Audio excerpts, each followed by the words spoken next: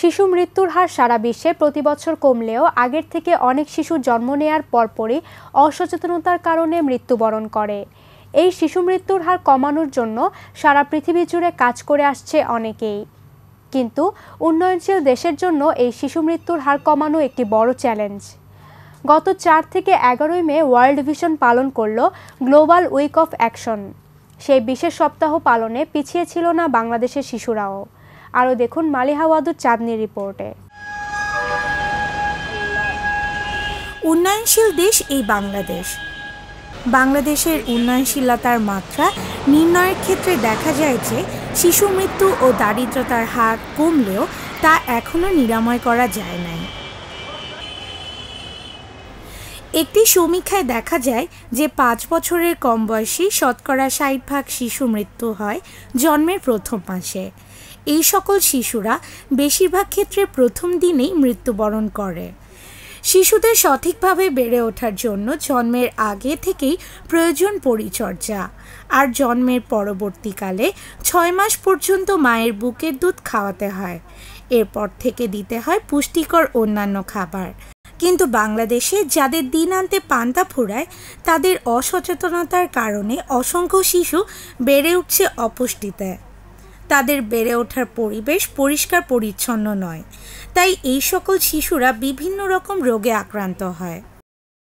WHO দু হাজার এর একটি সমীক্ষায় জানা যায়, বাংলাদেশের পরিস্থিতিতে নিউমোনিয়ায় তেরো পার্সেন্ট, জন্ম পূর্ব জটিলতায় উনিশ পার্সেন্ট, শ্বাসকষ্টে তেরো পার্সেন্ট, ডায়রিয়ায় সাত পার্সেন্ট, সড়ক দুর্ঘটনায় ছয় পার্সেন্ট, হামে দুই পার্সেন্ট শিশু মৃত্যুবরণ করে।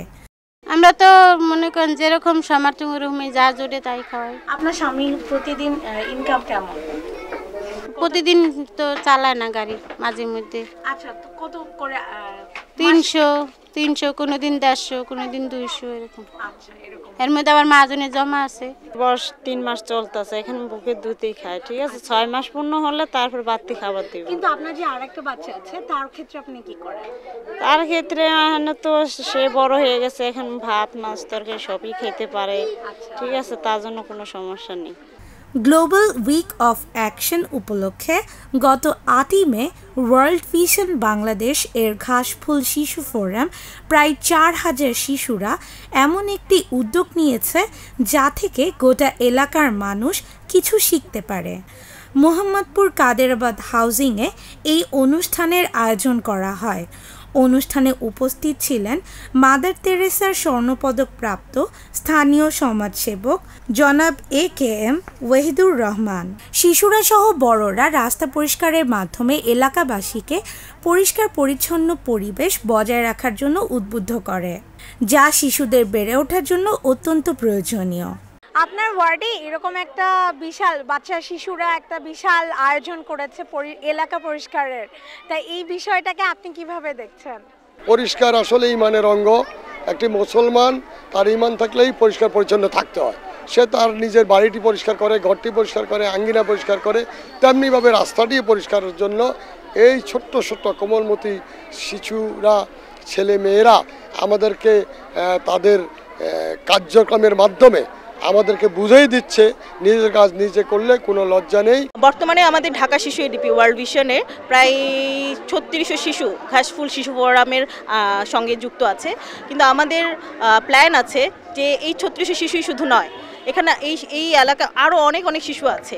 এই সব শিশুকে একটা ফোরামে নিয়ে আসা এবং তারাই যেন তাদের এলাকার জন্য ডেভেলপমেন্ট করতে পারে।